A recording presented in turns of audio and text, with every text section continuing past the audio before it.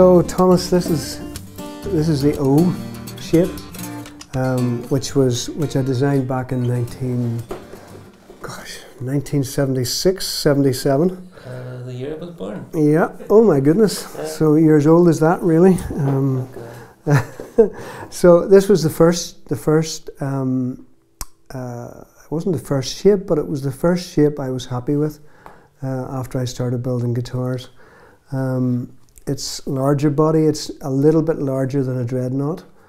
Um, I saw your number 19. number 19 would have been a different shape. Yeah. Would have been a different Yes, shape? it would. Yeah. Okay. Slightly longer Okay. and slightly smaller wi- I width-wise. was I, I was amazed when I saw number 19 how similar the guitar was Yeah. to what people today. Yeah, it's similar but not but not the same. When I when I in 1976 when I got to this to this uh, body shape, I I felt that I was happy with the shape for the first time. I suppose really the way I designed shapes in those days was you know just with a pencil and drawing and then looking at it and drawing again and then fixing it slightly and then making making the three dimensional guitar and then looking at it and always I was tw- tweaking things and changing things, and so finally I arrived at this shape uh, back then. And of course, um, the sound was because the sound box is slightly bigger than our other ones. Um, the sound has this um, this kind of uh, width. It doesn't have a tight focus. It has a real interwoven sound. You know that sort of percolates out there rather than hitting you in, hitting you in, in the stomach. You know, it's it's a it's a very subtle kind of sound, excellent for for finger picking, um, especially uh, some of the more Celtic music, Mhm. um, where uh, where the finger picking is. uh, The, the rhythms are kind of interwoven with the with the melody so often, and that's why it's so good for that kind of music because the sound is wider and it's more interwoven. Um, so you'll be able to demonstrate that, of course, uh.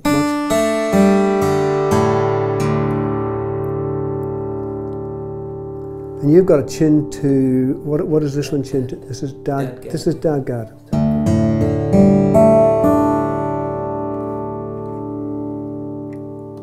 Now I think it's ready for you to for you for, for you to demonstrate. So if you if you could play something um, melodic for a moment No, I don't and so yeah you don't do melodic No, I know you but I'll don't do it for you. you know. um,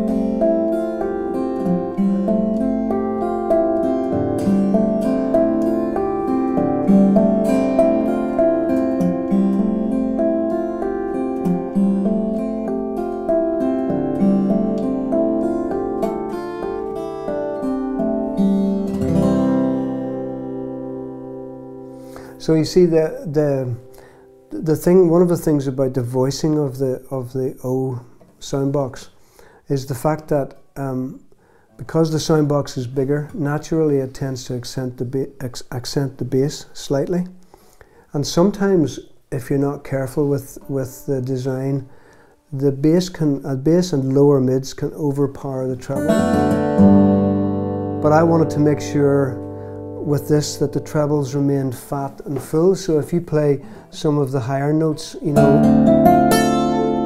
I- that was too hard.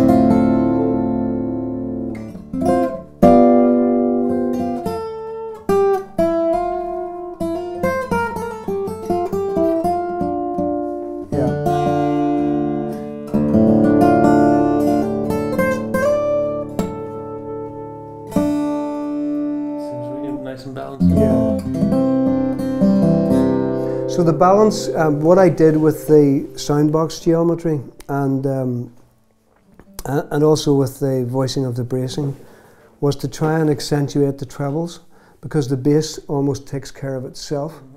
Um, But you still like every guitar top is like the bracing is the same, but it's it's basically carved individually to every top, just about. Well, the bracing is well, the bracing is not the same for every model. I mean, Mm. the, the position of it is almost the same, but not quite. but also the size of the bracing um, is uh, is different from the O model to the F model and Yep. to the S model. Um, and of course, the it's very important when you're talking about bracing to make sure that the design kind of works together like that and Mhm. doesn't and doesn't fight. Mhm. So, for example, if I changed the depth, the soundbox depth, um, then I, I would probably have to change the way the bracing was voiced. Otherwise, we could end up with some um, some parts of the design fighting with the others, and then the guitar wouldn't work quite as well as it does at the moment. It's got just this endless sustain. Yeah. My, my signature is, a, is an O.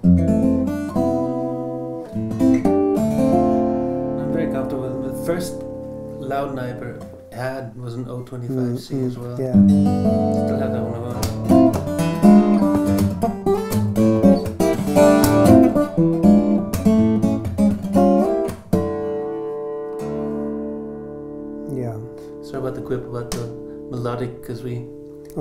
that's all right. the fingerstyle That's is so okay. we, all right. everybody says we don't play melody and it's not true. because this design came way back in 1976, um, a lot of the players who were coming to me back then were um, Celtic music players, you know, from Brittany and from Ireland, of course. And, um, you know, they really, uh, people like Dan, Dan Ar Braz, um, uh, Pierre, of course, and many other Celtic players. And therefore, I suppose without me really realizing it, I was trying to create a guitar which would work Yeah. for for Celtic music. Of course, it works for other music as well, but that would be maybe its most comfortable Yeah. setting, you know.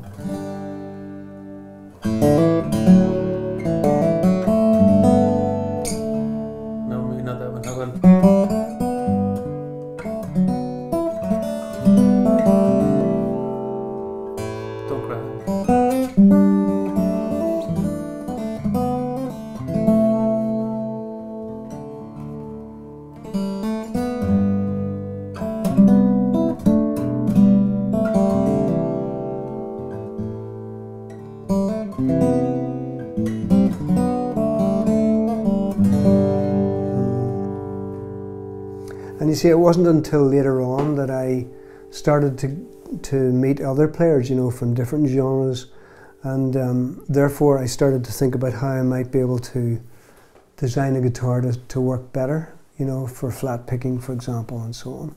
So if I I could move on to the um, if I could take that guitar out of your hands, Thomas, just for a moment.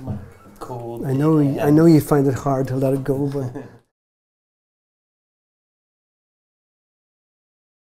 around about 1982, maybe 83, I'd have to. Um, I I guess there were some players who were um, saying to me about the American design of guitar and asking me if um, you know if I if I could do a dreadnought, and I felt a little bit um, like I really wanted to do my own design, so I realized I would have to make a guitar, design a guitar which was the same size um, as a dreadnought rather than the jumbo, the jumbo size.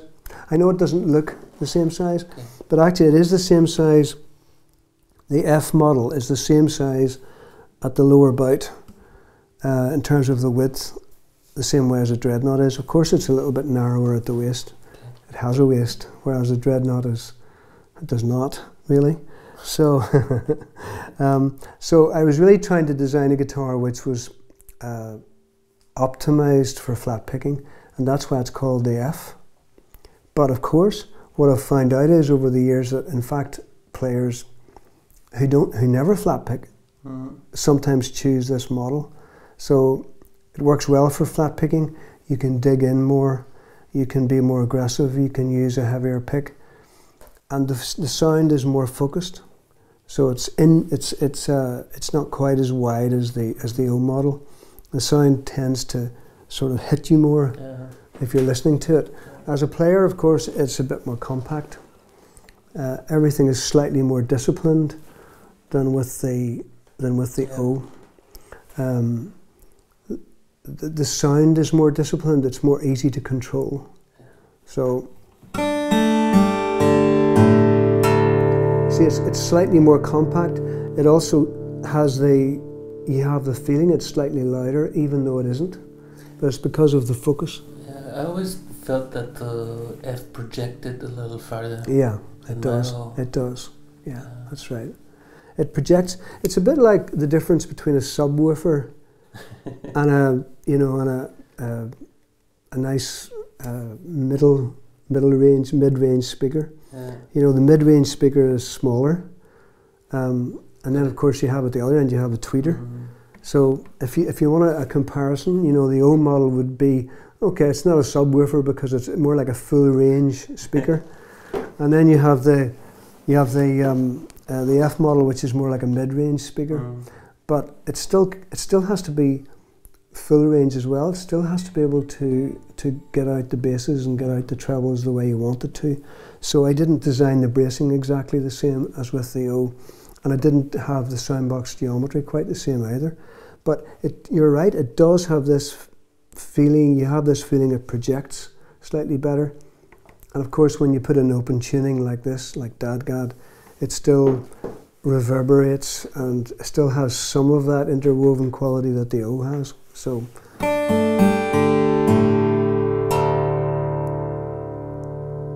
Of bass as well. So I'm not going to try and play it. It'd be much better. Ah, if, much better if you did give us a tune. A. No, I'll just. I'll just sit back. now. It's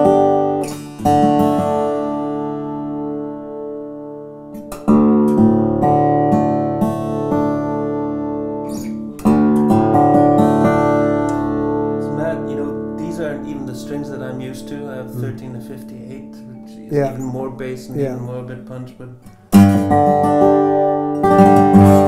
Yeah, but you're used to hitting that bass string harder with the.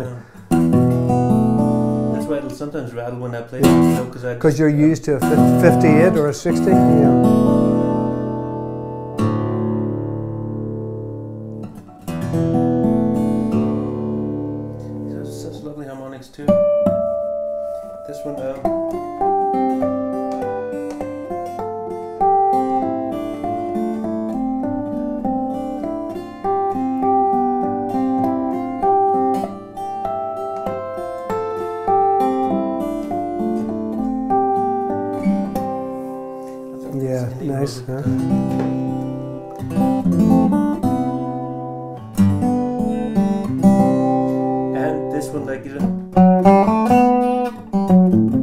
Flat pick, but.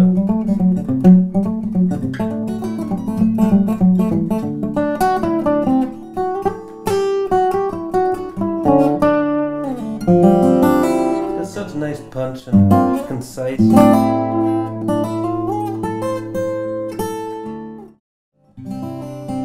So this is the rosewood cedar combination in the F in the F model. So it has slightly more. Um, it, it's it's more disciplined. It's it's got more projection. It hasn't got quite this sort of finesse, if you like, and subtlety of the O model. Bigger one.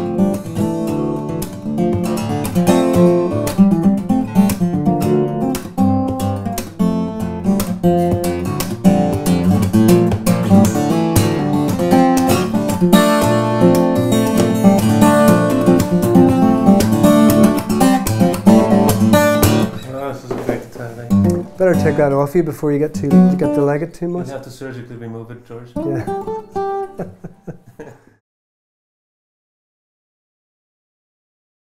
we'll move on and let's try move on to the last design, which was the S. And In the in the speaker analogy, this would be tweeter. this would be well a tweeter, except of course it has to be full range yet again. But the the accent, of Uh-huh. course, is more towards the treble.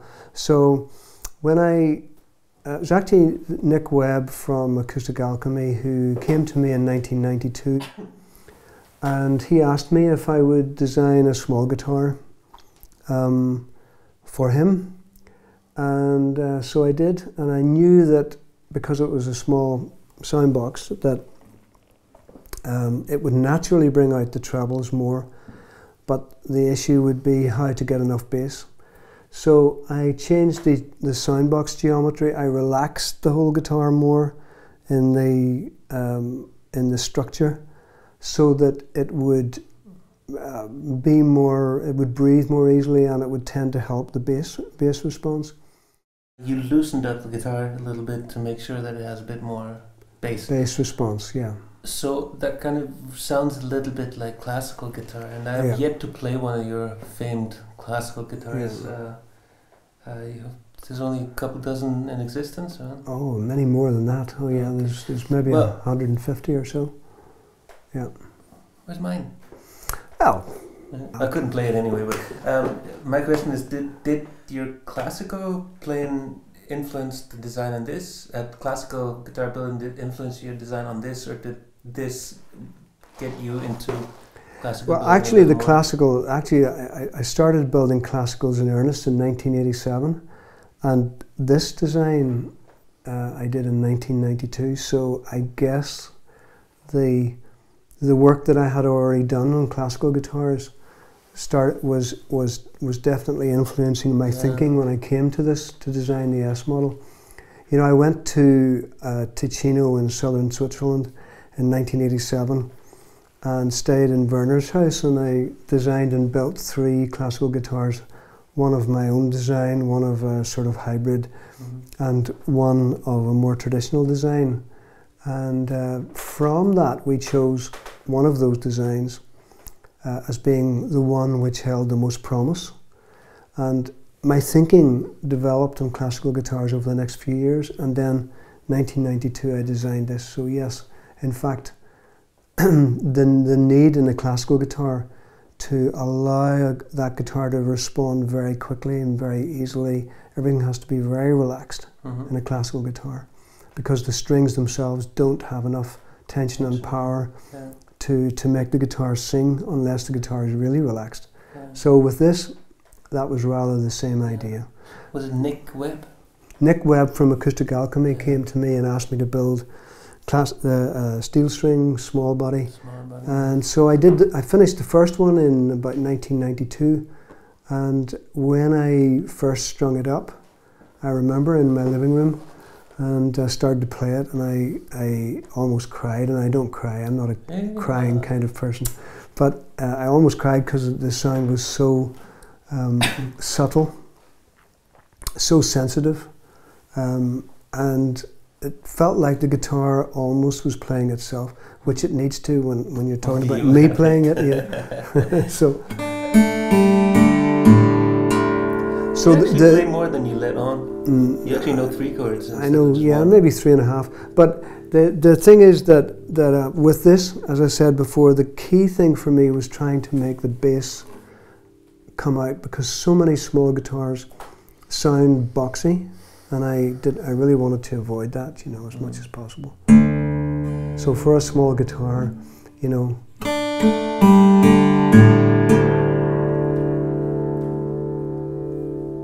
Has good, of course, it has good sustain, but it also has good bass Yeah. Oh, for a small guitar. definitely. Yeah. Yeah. Um, which is down to the geometry, mostly the geometry of the guitar. So I'm going to hand it over to you to try a few things. Try a few things.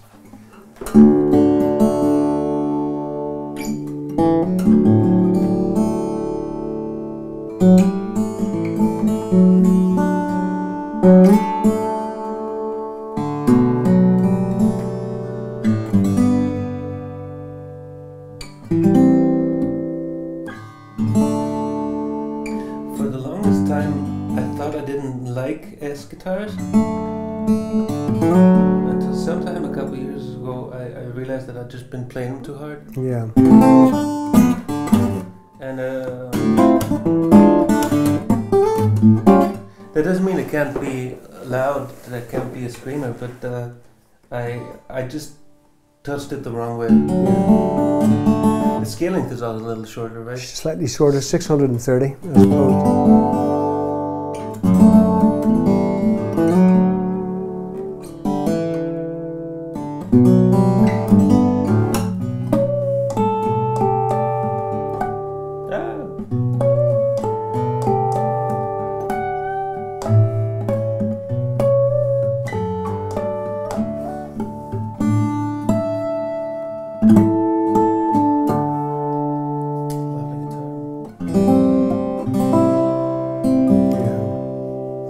There's something, there's something really um, en- endearing about the tone, you know. I guess that's what I felt right at the beginning. What I noticed before when I was playing this one is uh, I played exactly that pseudo flat picking. It's not right for that. Uh, this guitar can be so loud. I Oh yeah, that's right. And I, I played it out there and I actually had to That's because that's because the, that's because the focus is even smaller, even narrow. Uh, I heard a good analogy for that. Somebody said uh, it's a bit like a water hose. If you have the water hose on, Mm. it'll go. There's a lot of it. and It'll go a certain certain distance. If you squeeze a little, it'll go farther. Go farther. further, yeah. And then if you squeeze it really shy, uh, it's, it's, pro- it's projection. It's projection. Yeah. Mean, when you're up close with this guitar, it sounds incredibly loud. You know.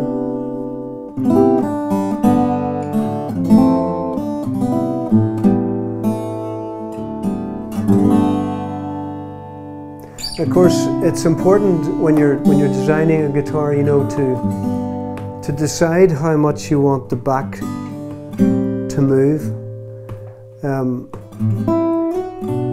there is a temptation, you know, to make the back and sides very immovable and just allow the soundboard to, to, to move and breathe.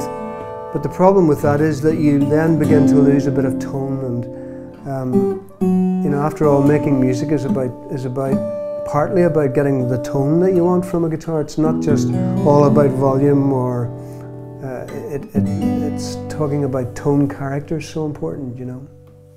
So, of course, this is uh, the S model is great for melody. So if you're playing um, just pure simple melody notes, you know, it's perfect for that because it's so articulated and so defined. Um, and Okay, let's see if this goes on this Let's.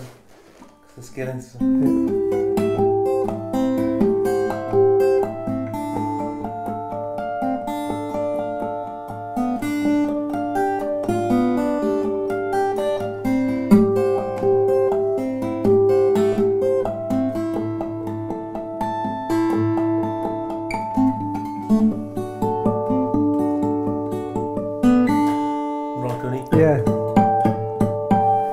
course, the 630 scale is catching you out there because you used the 650, but it's it's, uh, it's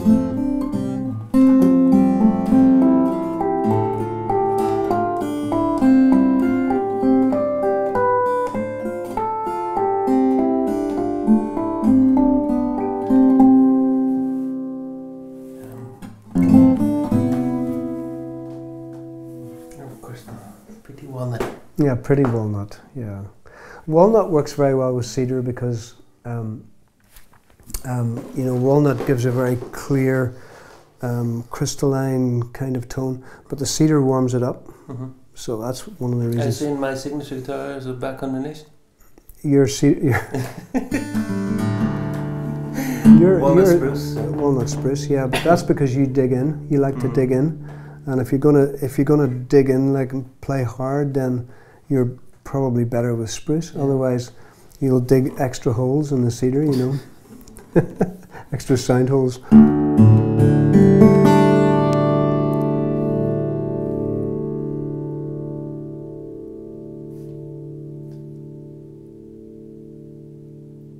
Feels like it's going to be there a minute later. You know, it's just still going. We have a cup of tea and come back? don't exactly. okay. Thank you very much, Thomas. Thanks, George.